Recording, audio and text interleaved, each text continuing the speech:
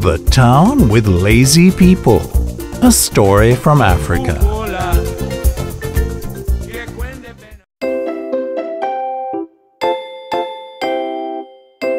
Look and listen. upset,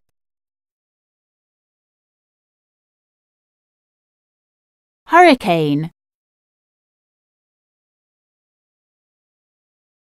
blow, throw, servant, dig,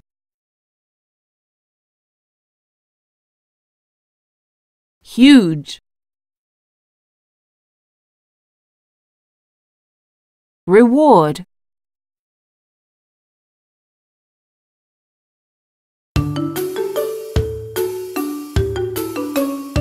Let's watch. The Town with Lazy People. A story from Africa.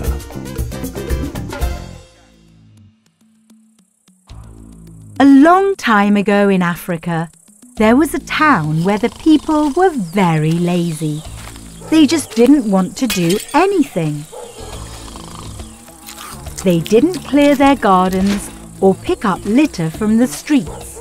The town never looked clean, but the people didn't seem to care.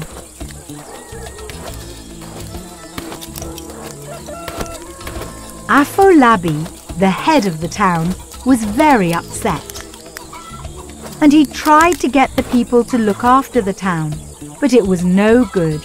They cleaned it up for a few days and then they just went back to their old lazy ways.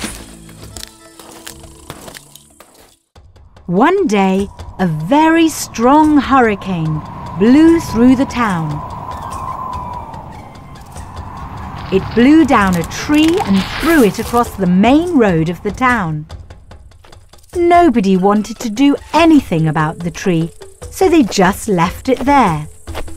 People climbed over it when they wanted to go from one end of the town to the other. Afolabi was very angry and decided to teach them all a lesson. He told his servants to dig a hole next to the tree and put a bag of gold in it. Then he waited. The next day, Amaki, a poor farmer, saw the tree and stopped to try and move it. He was not very strong and it was a difficult job. Instead of helping Amaki, the people of the town just made fun of him.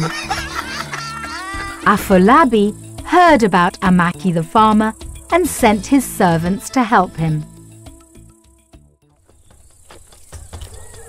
Thank you for trying to help. Afolabi said to Amaki when he saw him. Now I want you to dig beside the tree. Amaki did as he was told, and very soon he saw a huge bag of gold coins, Those coins are yours. said Afolabi.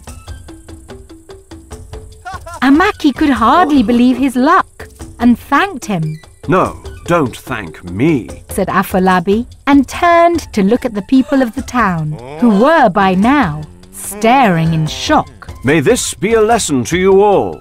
Rewards come to those who work.